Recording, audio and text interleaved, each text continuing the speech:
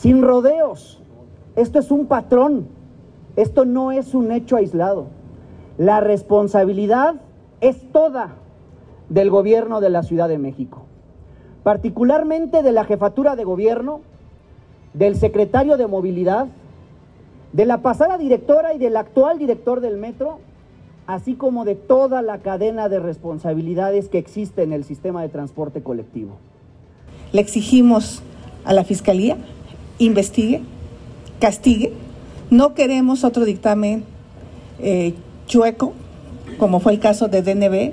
La campaña anticipada de Claudia Sheinbaum Pardo, jefa de gobierno, está cobrando vidas. 750 millones de pesos este año para la publicidad de este gobierno. Ahí están las prioridades.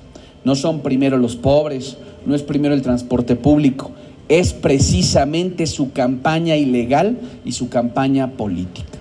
No hay inversión ni en mantenimiento ni en tecnología. Y a pesar de que es el principal medio de transporte que transporta entre 2.3 y 3.5 millones de habitantes todos los días, no hay inversión. La verdad que este gobierno ha sido un gobierno de miedo